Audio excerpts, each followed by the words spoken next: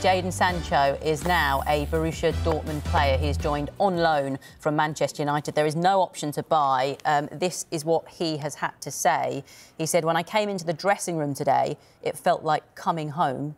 I know the club inside and out. I've always been very close with the fans here, and I've never lost contact with those in charge. I can't wait to see my teammates again, go out on the pitch, play football with a smile on my face, prepare goals, score goals, and help qualify for the Champions League. The uh, Dortmund sporting director, Sebastian Kehl, has said this as well.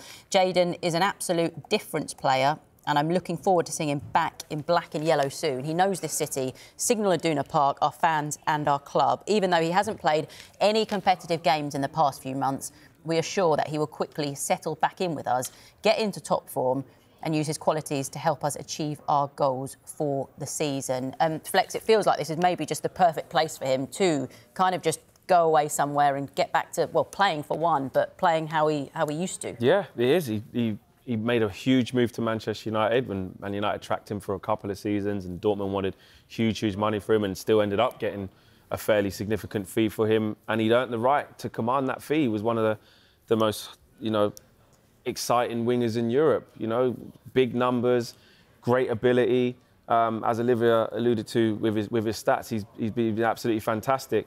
Um, and it just hasn't worked out at Manchester United. It's it's a whole different pressure coming to Man United.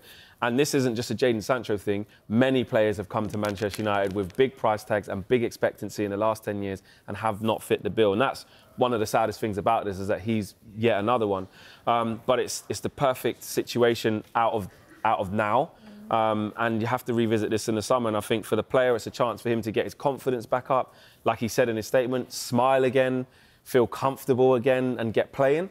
And for Manchester United, they're looking at it like if, if Jadon Sancho is to leave Man United in the future, which it looks probable in the summer, how do they recoup his wages? How do they command a decent transfer fee for him? Only by letting him go out and play. And that's why there's no obligation to buy or option to buy because his stock has fallen so much in this four to five months they need to get it to rise again, and it's best for player and, and, and club. I think key as well is is the manager we're just seeing there. This is what he did under uh, Edin Terzic the last time he was at the club, and I think you know he's he's already spoken there in those initial quotes to say my contact with the team at Borussia Dortmund has, has never stopped. Yeah. So it's pretty obvious the feeling and the kind of love that he felt from Dortmund since he left there, really, to join Manchester United.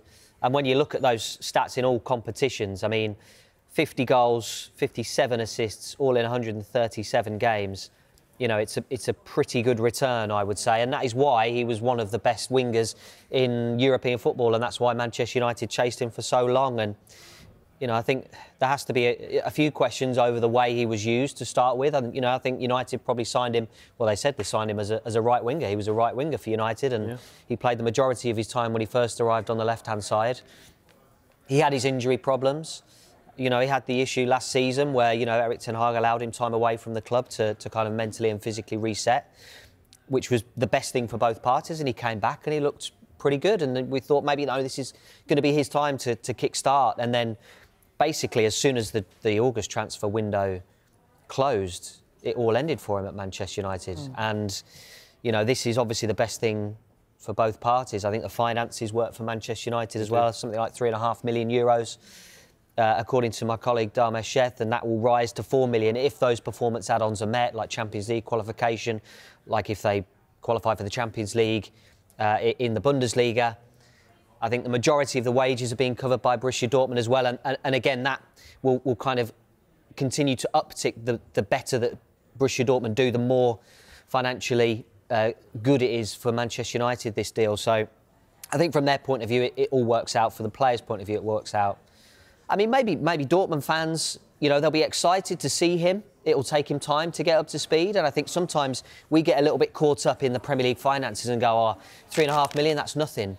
But I think when you look at the European financial models, you know, it's not an insignificant outlay for a player that's only going to be there for a few months. So, I think from Dortmund's point of view, they're they're putting a little bit on Jadon Sancho to come and do well.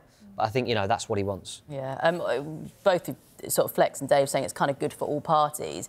Even in the, the, short term for Manchester United, not to have this kind of story lurking in the background, how much of a positive is that for Erik Ten Hag? Yeah, it is because it's gone on for so long now, and he's been asked questions about it for so long. And I think it must just feel like a bit of a weight off Jadon Sancho's shoulders, Manchester United's shoulders, Erik Ten Hag's shoulders, because over the last few months, when it hasn't been going well for Manchester United, you're going to have questions like, well, if your attackers aren't, you know, if it isn't working, you've got an attacker sat on or not even in the squad, not even training with the first team that you could use. So I think in terms of that, I think it's brilliant for all parties and Manchester United can now just forget about it and hope that he goes there and he plays well and he does his thing at Dortmund.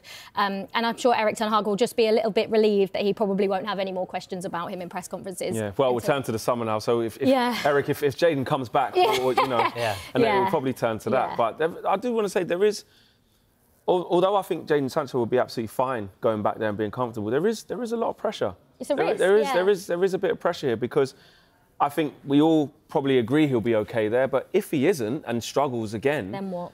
And Erik Ten Hag's still at Manchester United come the summer and he comes back to that and maybe Dortmund don't want to exercise an option that may present itself at the end of the season, then what happens? So I don't want to be too pessimistic because I don't believe that will happen.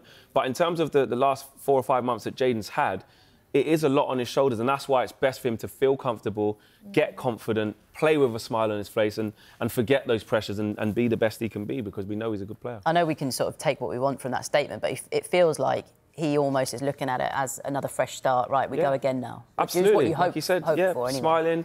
I've come home, haven't stopped the contact. Like, I, I, don't know. Maybe, maybe he might have been thinking this for a li- for, for longer than this time if he's always kept that contact. You know.